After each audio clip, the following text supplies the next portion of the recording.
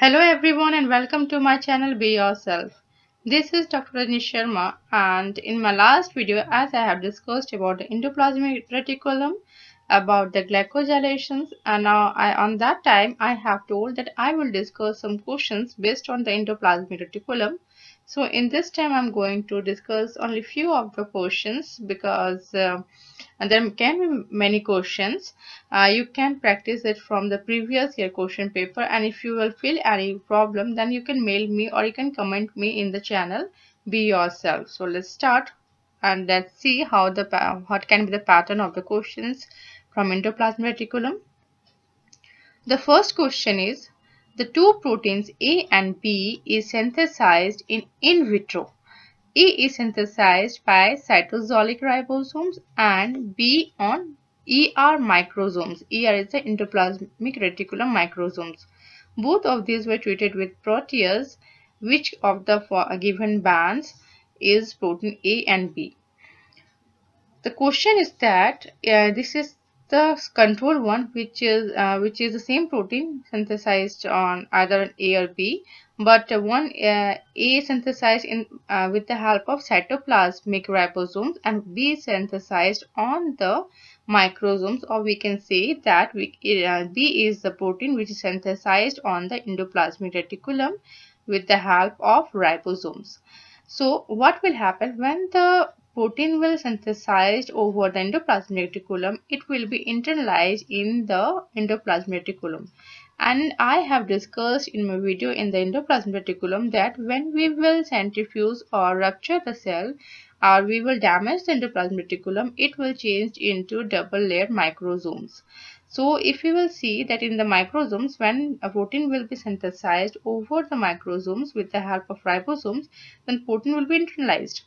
Okay, and now what will happen that after internalizations if you will treat it with any protease enzyme then it will not be able to cross the membrane. So this protein will be get protected. But if the same protein which will be synthesized in the cytosol then what will happen as it is in the free condition so the protease enzyme will able to break down this protein into the simpler form or where uh, the this protease enzyme has the site of cutting the protein.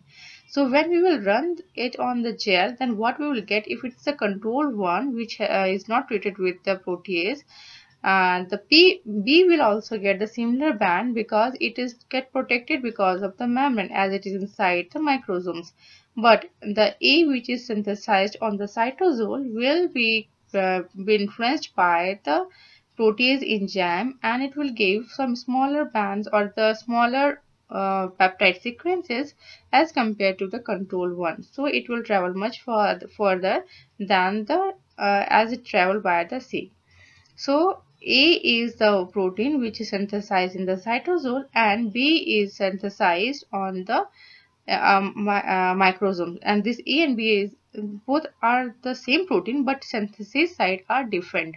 So the answer will be A which is A uh, A is the two. Uh, sorry I have forgotten to this is uh, A is if we will note it as 1 and 2 then A is the 1 len and B is the 2 len so the answer will be number C.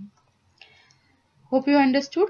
Now move towards the next question GPI anchor are assembled in the luminal side of the ER in the secretory protein.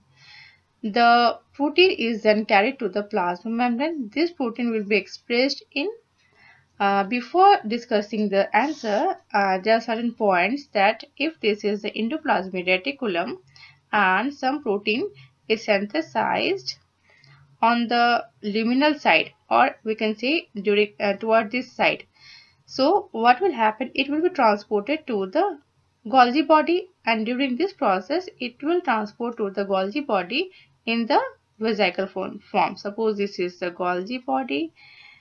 Okay. Uh, this will bud out in the form of vesicle and it will fuse with the Golgi body. Then what will happen when it will fuse? Then again this is known as luminal side and this is the cytosolic side.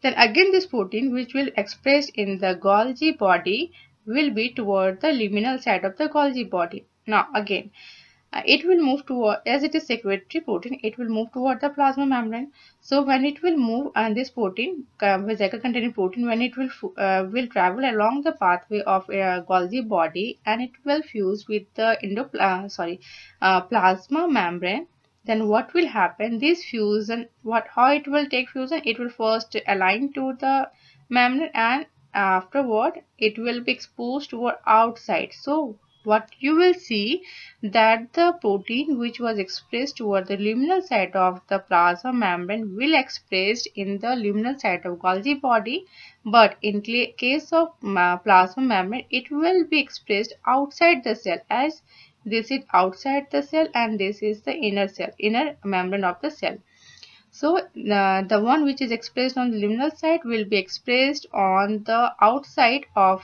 the plasma membrane as in the case of the receptors which is also a protein. So it will be expressed on the outside of the plasma membrane. So the answer will be outside of the cell. The protein will be expressed in plasma membrane outside of the cell. But if the protein which was synthesized in the endoplasmic reticulum will face the cytoplasmic side then what will happen? It will again bud out and it will uh, fuse with the Golgi body and it will be toward the cytosolic side and when this will again bud out and uh, if it will fuse with the plasma membrane then how it will fuse? It will fuse in such a manner that the vesicles will be exposed toward the outer side but the protein which is on the cytosolic side of the endoplasmic reticulum will again be on the cytosolic side of the plasma membrane AR this is Golgi body and plasma membrane so uh, you, uh, it means the luminal side expression or in the luminal side will be expressed in Golgi body also in luminal side but in plasma membrane it will toward the outside where in the expression of proteins in endoplasmic reticulum on the cytosolic side will express and the cytosolic side of the Golgi body as well as plasma membrane. So such types of questions can be asked in different twisted form. If you have the clear concept of this question, then you can easily attempt all such questions. Move to the next question. BiP protein. BiP is the protein which help in the proper folding of protein inside the endoplasmic reticulum and it is required in the endoplasmic reticulum. So BiP protein function in the ER this has a KDL sequence involved in the retrieval pathway. What will happen to BiP protein if KDL sequence will be lost? What happened? This KDL sequence is the sequence of amino acid and the protein, uh, we know that protein was synthesized in the ER membrane, then it is transported to the Golgi body, then to its the destination site. So even the protein which is required in the endoplasmic reticulum will also first travel to the Golgi body to, towards cis side and uh, the one having the KDL sequence will again retrieve towards the endoplasmic reticulum and, and it will function in the endoplasmic reticulum. So the protein which is to be retained in the endoplasmic reticulum had the sequence of KDL sequence. But if this KDL sequence will be removed, what will happen?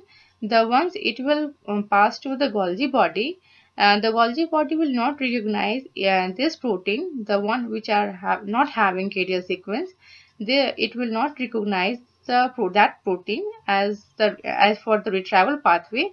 So it will not again retrieve it for the endoplasmic reticulum. Rather, it will be exported outside the cell. It will export outside of the cell.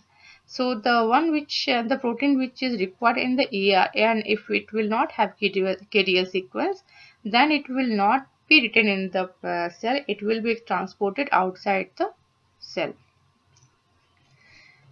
So these all patterns of questions can be asked from the endoplasmic reticulum i am ending uh, i have ended this question uh, this video with this question. I am not going to solve this question. This is based on the turnover number in my upcoming videos i will show you how to solve this question i have taken this question from the sample paper of CSIR JRFnet which is already present in the site.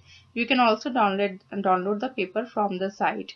So if you want to know how to solve have a solution of this question then don't forget to subscribe my channels and for more questions updates it will help you not only in an uh, single examination or in the CSIR NET it can also help you in for the GATE examination DBT ICMR or any types of any type of uh, examination you are going to face.